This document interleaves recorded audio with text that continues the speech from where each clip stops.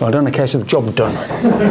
yeah, um, we weren't quite at our best tonight, but sometimes that's not always going to be the case, and then it's about finding a way to win. Uh, this team has become incredibly difficult to beat. Um, and yeah, we, we got the goal and managed to, to see it out. Listen, we can't be at our free flow and best sometimes. The, the pitch is becoming really difficult mm. for us. Um, again, there's no blame attached to anybody there, but it's, it's becoming increasingly difficult to do what we do on there.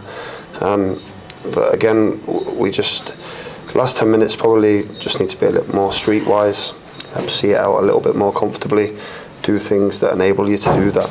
Um, but really pleased to be one game for Wembley. Absolutely, it's a cup tie about winning, and that's what he did tonight. And he had to show the gritty side, sixth clean sheet and seven. So, uh, as I said before, it wasn't much job done. You did what you had to do. E-, exactly that, and you know, credit to the boys. We made six changes tonight. Mm. Credit to the boys that come in. They again found a way um, to put in a performance and, and, get us the victory.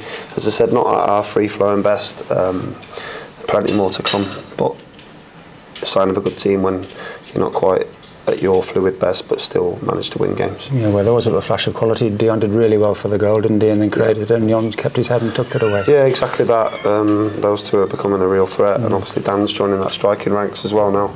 So yeah, we're looking forward to it. We've got some good players in, in the building now. with mostly them in one piece, and then Geth. Geth got a, a bit of a bang mm. uh, in training nothing major really, a couple of days, but other than that, yeah, things are progressing well. And we won't get carried away, but the object of this exercise is to get to Wembley, and as you say, you're one win away now, so we can think about it.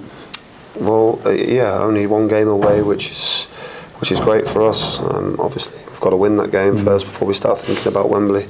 But we're another step closer, which is pleasing for everybody. Nice to see the skipper back as well, and it's yeah. a slightly rejigged defence, but another clean sheet.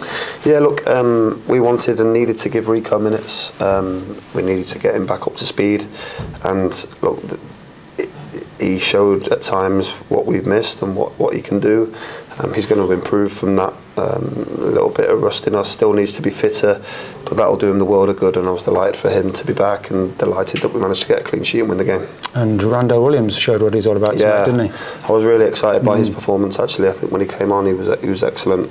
Showed us some real dynamic speed down the outside. And yeah, we're pleased with him. And we will have no bearing on Saturday, but we just regroup and we'll play them again on Saturday. No, exactly that. Um, that game's chalked off now. We can park this for a little bit. Um, concentrate on the league and a big game coming up on Saturday.